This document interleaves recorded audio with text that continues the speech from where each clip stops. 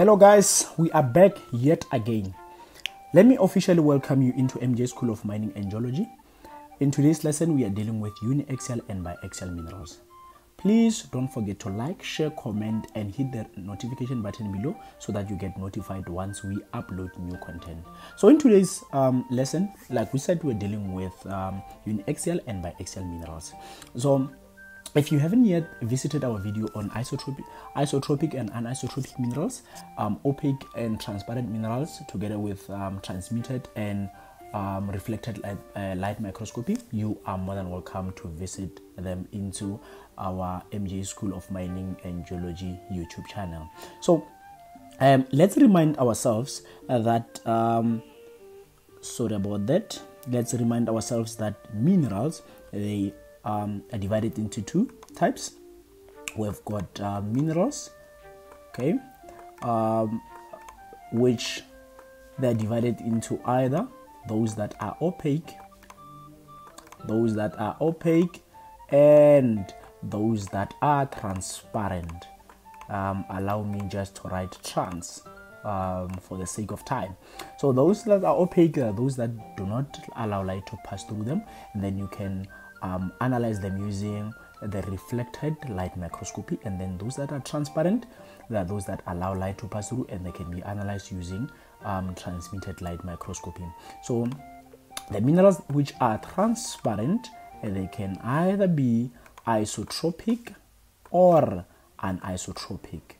Isotropic and anisotropic. So anisotropic. So allow me to write to just write them in short. So isotropic uh, those that they possess um, the same optical properties um, and, and, then and then when light passes through them um, um they do not change direction. But with anisotropic uh, they um, when light passes through these minerals uh, they diffract. Okay they yes they show a, a diffraction or refraction. All right? They show what you call a double refraction right? So that is what we call birefringence and they possess different optical properties. And then the minerals which are isotropic uh, which are anisotropic they can either be uniaxial and biaxial all right okay so we know bi means two uni means one. So uniaxial um, there are those minerals that have got one optic axis and then biaxial they've got two optic axes and then we know as a matter of fact that all minerals that um, um, um, uh, crystallize, uh, all minerals which are anisotropic, they um, crystallize in triclinic, monoclinic, orthorhombic, tetragonal, and hexagonal. All right. So, um, and then it means only minerals which are which crystallizes in tetragonal and hexagonal are called uniaxial, and those that crystallize in monoclinic, um, monoclinic, triclinic, and orthorhombic, they are called biex- uh, biaxial. All right. So I hope you get the gist. So in today's lesson, we're going to be dealing mainly in uniaxial and biaxial minerals, and also we're gonna look um, into the um, the optic sign. We, are going to determine their optic sign. So minerals that crystallize in tetragonal and hexagonal uh, uh, crystals systems um, are uniaxial and are characterized by two extreme refractive indices. Two extreme refractive indices. We're talking about um, ordinary refractive index and extraordinary refractive, refractive index. And now, minerals that crystallize in triclinic, monoclinic, and orthorhombic crystals are biaxial and are characterized by three refractive in, uh, indices, um, one of which is intermediate between uh, the two. So when we talk about these ones, we um, we um, talk about the gamma, we talk about um, um, alpha, and then yeah, I don't know how to write alpha, but yeah, alpha, gamma, and what we call a beta. So I'll show you with time um, why these three indices um, are, are, different in terms of size. The other one is big, it's, it's bigger. The other one is smaller. The other one is intermediate. But we're gonna deal with that in a few. So uniaxial like we said they, they have one optic axis and then this optic axis is um, parallel to the C crystallographic axis. And then um, um, these minerals they crystallize in tetragonal and hexagonal like we already mentioned. And then now uh, if the optic sign or the optic axis is parallel with the C crystallographic axis um, then it, it, it, it, it, means uh, that um, when light is um, traveling through this um, let's say this is your thin section placed on the stage and then when light passes through this crystal it won't change direction. It won't change direction. So light traveling along the direction of the single um, optic axis when light travel along the direction of the single optic axis along here along the single optic axis um, it will exhibit the same properties as isotropic materials in the sense that polarization direction of the light is not changed is not changed by passage through the by passage through the, the crystal. Because if it changes then they will behave like an isotropic because now they refract and they will show the single uh, uh, uh, light will uh, split into two and then that is what you call birefringence which is why anisotropic minerals even if you um, observe them using um, cross polarizers, they will still uh, show this birefringence because of the double refraction. Now, um, so it means um, the if we have the stage like that, if we have two stages like this, you can either put your sphere, okay, these spheres they are like sorry about that. Let me put this one here. So the it can the optic axis can either be um, perpendicular to the um, stage of the microscope or it can be parallel to the stage of the microscope. So it means if the optic axis is oriented perpendicular to the stage of the microscope like this. Now, now with the upper nicol or the analyzer inserted, remember uh, when we say we are uh, uh, when we say we are in cross polarized light, it means the upper analyzer is inserted. So the grain will um, remain extinct throughout a 360 degrees rotation if the optic axis is perpendicular to the stage of the, of the rotation. All right. Now the single optic axis, if now um, it's a, a coincident with C crystallographic uh, axis, if it's um, coincident with a, a C crystallographic axis, all right, uh, then light traveling parallel to the C crystallographic axis will behave as if it were traveling in isotropic substance, right? Because they are parallel to one another. So it means when you're looking down the C axis, when you're looking down the C axis, when you're looking down the C axis like here, now, what you see it's only um, um, equal length of A axis. Um, like in isometric. You know, in isometric minerals, um, we've got the we just say this um, sorry about that. This is a1 okay? Then this is a2 then this is a3 for isometric. It means all these um, axes are equal all right so it means when you are looking down the c axis you only see all these three a's which are equal in length all right? So now if they are equal in length when you're looking down uh, um, c axis of tetragonal and hexagonal minerals it's because of light traveling parallel to the c axis all right? And then that will behave like uh, a, an, an, isotropic system or, or isotropic uh, material. Now um, when we determine in, in, in uh, uniaxial minerals, now you understand that they've got one optic axis and um, they um, crystallize in, in, tetragonal and um, they crystallize in, in, in, in, tetragonal and hexagonal. And then um, when light passes through the crystal, does, it, it, it does not change direction. All right. So we understand that now we should determine the sign. So all of the, the sign, they are determined using what we call the, um, the sign is determined using what we call the, yeah, so now we're dealing with the optic sign determination. We are dealing with optic sign determination. So, like we said, that uniaxial minerals, they've got two extreme values of refractive index, and we call those normal, no ordinary refractive index, and the extraordinary refractive index, ordinary and extraordinary. All right.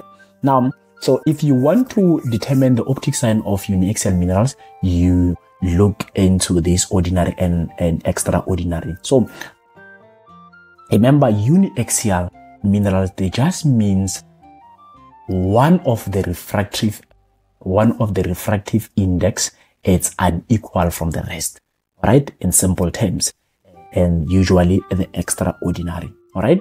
So if you want to determine the optic sign for uniaxial negative or uniaxial positive, and it means then for, for the negative one, it means the extraordinary, extraordinary, not extraordinary, sorry, ordinary refractive index is greater than the um, extraordinary refractive index. All right. Or you can say extra ordinary, it's less than the ordinary refractive index. But now with uniaxial positive, the opposite will be true. It means the extra oh, also uh, ordinary refractive index is greater than this one like that. No, it's not greater, but it's less than. It's less than. Or you can say NE or extra refractive index it's greater than the it's greater than ends of O, oh, that is to say ordinary in simple terms. But now I will show you this, how we determine all of this. Now, the optic sign is, it, it depends on you compressing or stretching the, um, the, the, um, optic axis. So if you can see here, we have stretched it and then here we have compressed it. All right. So as you can see, we have already mentioned that the fact that for uniaxial minerals, it means one of refractive index is just different. It's just unequal from, from the rest. All right. Yes. So let's consider here when we stretch the optic axis, when we stretch it, then you can see that, that NE, the extraordinary refractive index is greater than the ordinary refractive index. All right, you can see here that extraordinary is greater. You can see this is greater. It's greater than the ordinary. So then we say it's uniaxial.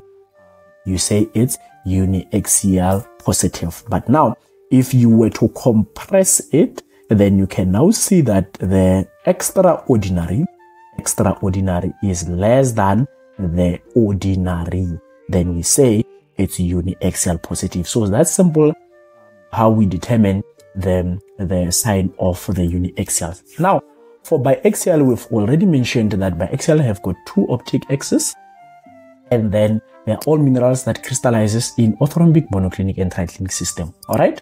Now, and we've mentioned the fact that biaxial refractive indices they vary between, or they, they've got three refractive indices, all right?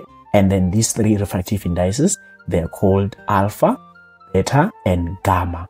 And then the smallest refractive index, it's alpha, the intermediate will be beta, and then the largest refractive index, it will be the gamma. So keep that in mind as we are going to be dealing with that. Now, let me just quickly show you using the, um, this uh, diagram we say here it's what you call the gamma and then and then this is beta this is alpha so uh, let's check the size you can see that the uh, gamma the gamma is the longest is the is the longest or the largest refractive index all right? Is the longest refractive index. So which is why we said the longest refractive index is called gamma.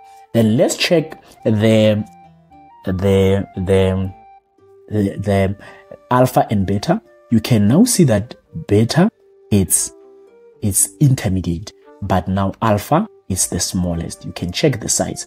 Alpha is the smallest and beta is the intermediate which is why we're saying beta it's the intermediate. I hope you understand now. So let's now check the these angles. All right let's check now these angles in when we uh, determining the the the the the the sign optic sign of biaxial minerals. So so we've got in biaxial we've got two optics um, optic axis one and two. We've got two optic axes. And then um, between these we've got the angle called 2v we've got the angle called 2v uh, if you you can see that it's like a v here it's like a v here it's like a v here and then it's like we have another v here. And then which is why we say it's a 2v all right? And then in the positive when when when we say a biaxial mineral it's positive. We say now the this gamma it cuts through the the angle 2v so we say uh, uh, because this angle this angle it's acute it's acute angle. Then we say gamma it's acute bisectrix right we say the gamma for the biaxial uh, minerals or biaxial positive minerals gamma is acute bisectrix. But now what about alpha? Alpha you can still see here we have, we still have the the the the, the angle 2v and then but now for this angle 2v it's greater. So we say it's obtuse angle. So then now alpha is the one that cuts through okay or the the the 2v into two equal halves then we say alpha is the obtuse bisectrix right but now we don't end only there we say if we want to know that we are in biaxial positive we check the the the distance of this angle called beta.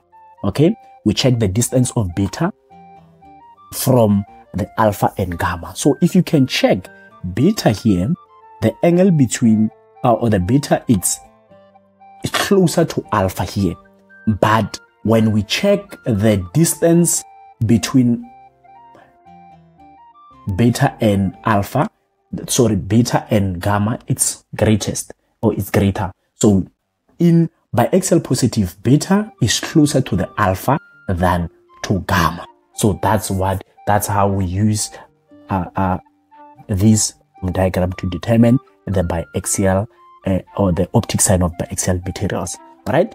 So I hope you understand. Now the optic sign of biaxial minerals depends on whether beta refractive index is closer to alpha or beta or, or gamma. You've seen how we look into that. And then, and then biaxial positive, if beta is closer to alpha than to, to, to gamma, right? So in this case, the acute angle 2V between the optic axis is bisected by gamma refractive index. Then we say that is acute bisectrix because it bisects this angle. Okay. So I hope you understand what we're talking about. Now, now in uh, last but not least, let's check, let's check biaxial negative. Biaxial negative, it means beta is closer to alpha than to gamma. All right. And then, then in this case, let's check the, check this angle is obtuse.